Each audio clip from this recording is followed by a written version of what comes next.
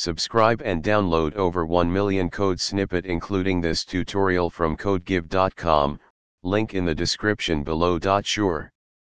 Here is a simple example of a JavaScript code that demonstrates some basic concepts. Explanation 1. In the code above, we first define a variable x and assign it the value 5. 2. Next, we define a function addnumbers that takes two parameters a and b and returns their sum. 3. We then call the addnumbers function with the arguments 3 and 4 and store the result in a variable named sum. 4. Finally, we use console.log to print the result of the addition to the console.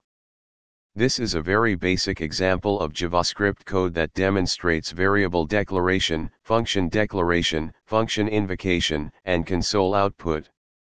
These are some of the fundamental concepts that you will need to understand in order to write more complex JavaScript programs.